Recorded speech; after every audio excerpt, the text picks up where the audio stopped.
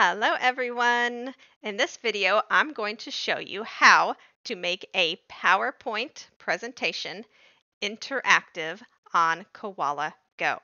So as you know, if you use PowerPoint or this also applies to Google Slides, when you present or have it in presentation mode, you cannot drag and move around words or pictures.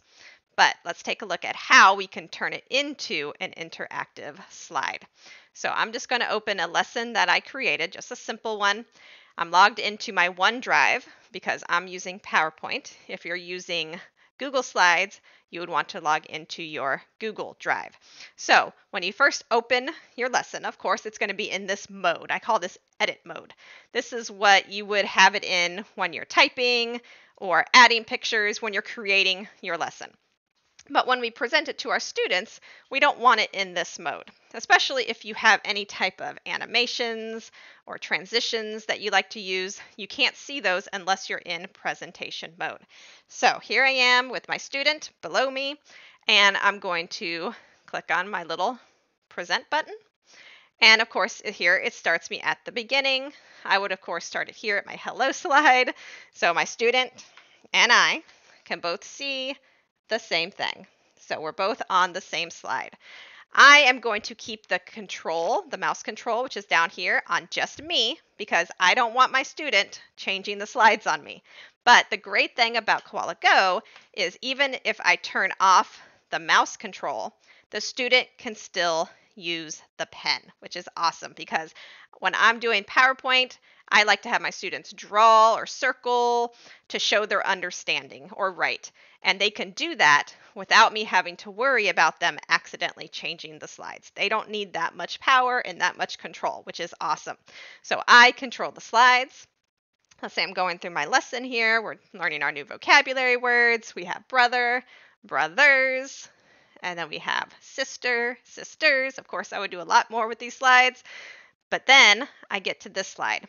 This is my interactive slide. Of course, I could turn this into an activity.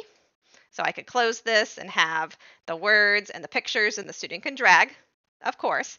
But I have a little trick that I could just do it directly in the PowerPoint without having to make a separate activity.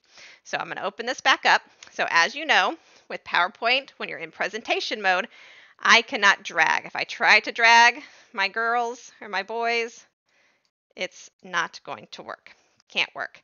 But if I click escape, it takes me out of presentation mode. And now I'm in my edit mode again. When you're in edit mode, just like if you're creating a lesson, of course, you can drag things around and move them.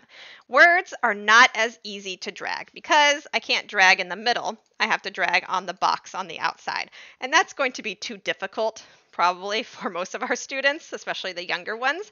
So I'm focused more on dragging images because images, I can click anywhere on the image and it will drag perfectly fine. If you found a way to turn a text box into an image, then that would also work. If I can find an easy way to do that, I will definitely let you know. But for right now, I'm only having my students drag the pictures, not the words. So again, here's my slide, my student on their iPad. Right now, they don't have any control. So of course, for this activity, I would have to go to my control dropdown and click U and K. And then of course I would explain to my student that I want them to drag all the sisters to under the word sisters and all my brothers under the word brothers. So I'm just going to show you what it looks like quickly here so they see the same thing as me. So I'm using my iPad. I'm not using my mouse. I'm not using the teacher's controls. I'm using the student controls. So here's my student. Oh, sisters,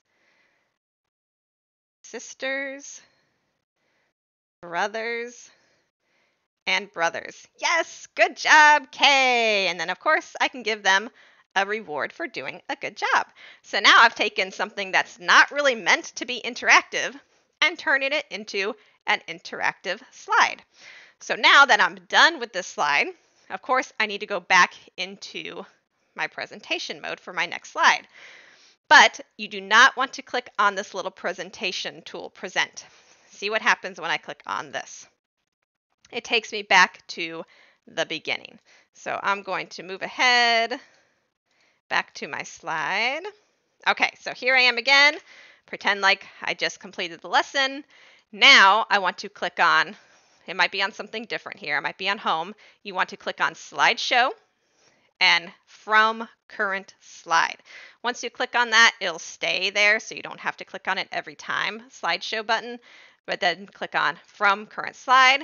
And now it starts where I left off. I can take away control from my students so they don't accidentally click on the slide, and I can complete my lesson. So, of course, you can still do your activities. You can still go back and forth very easily by clicking X and having your activities ready. But this is just kind of a cool way to have everything all together in one place if you want to have a few interactive elements in there with your PowerPoint with your student. And again, that applies the same for using Google Slides. So I hope somebody finds this useful and try it out, see how it works with your students. Bye, everyone.